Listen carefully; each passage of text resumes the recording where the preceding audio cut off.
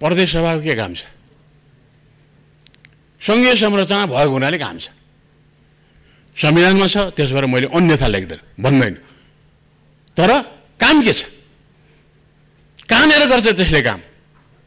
त्योभन्दा तल अर्को तह छ। सङ्घीय संरचनाको अर्को तह छ जुन प्रदेशको माथत छैन। केन्द्रको माथत छैन। जति केन्द्र प्रदेश अधिकार छ त्यत्तिकै त्यो खडा हुनुको निम्ति स्वायत्त अधिकार सहितको छ। दुई सय पचहत्तरजनाको प्रतिनिधि सभा किन चाहिएको छ।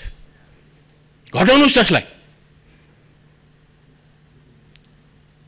दुई सयमा छाड्नुहोस् दुई सय पाँचजना बनाउनुहोस् दुई सय तिनजना बनाउनुहोस्। अथवा एक सय पचास एक सय एकाउन्न मात्रै बनाउनुहोस् त्यही पनि चल्छ। राष्ट्रिय सभाको सदस्य हुँ। भन्न त मिलेन।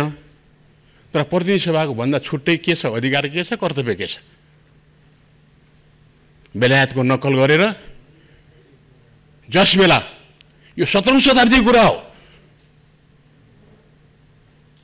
जस बेला राजाको टाउको काटेर विद्रोहीहरूले बेलायतभरि घुमाएका थिए। र पछि श्रमिकहरूले विद्रोह गर्न सुरु गरेपछि श्रमजीवीहरूको विरुद्धमा त्यहाँका जमिनदार र पुँजीपतिहरू मिलेर छुट्टै सदन बनाउने एउटा अपर हाउस जसलाई हाउस अफ लर्ड भनियो।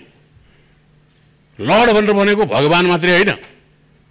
लर्ड भनेर भनेको जमिनदार पनि हो सामन्त पनि हो तिनीहरूसित मिलेर हाउस अफ कमन हामी तल कमन भएर बस्छौँ तर राज्य चलाउने हामी भनेर बनाएकोलाई नक्कल गरेर आज हामी यहाँ छौँ। त्यस भएर नक्कल धेरै क्षेत्रमा भएको छ।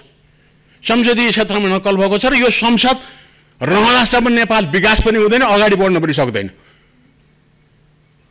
प्रतिनिधि सभाले कार्यकारी चुन्ने प्रणाली हुँदासम्म अगाडि जान सकिँदैन र यस किसिमका जसले देश जोगायो जसले आफ्नो रगतले हरेक माटो चाहिँ रातो बनाएको छ त्यसलाई घटाउनुपर्छ भनेर भन्ने ठाउँमा छलफल गर्ने र देश विकास गर्ने सम्बन्धमा कुनै काम नगर्ने।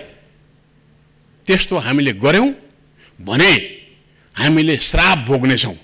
सतीको श्राप भनेर भन्ने छ र त्यो श्राप भोग्नेछौँ।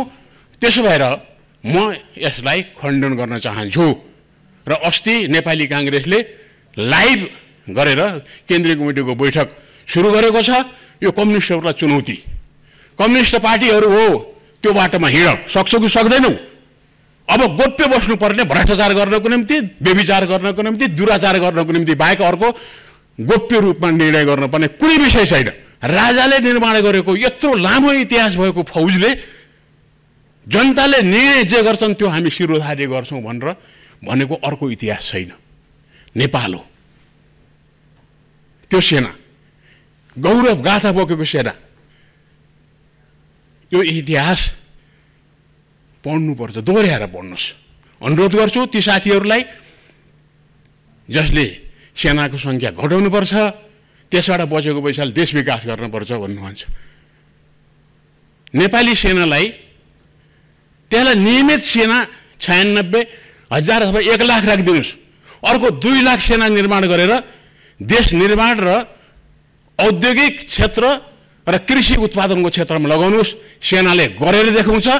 र उसले पाँच वर्षभित्र नेपाललाई आत्मनिर्भर मात्रै होइन विदेश पठाउने गरी हामी हाम्रो देशमा उत्पादनको वृद्धि गर्न सक्छ।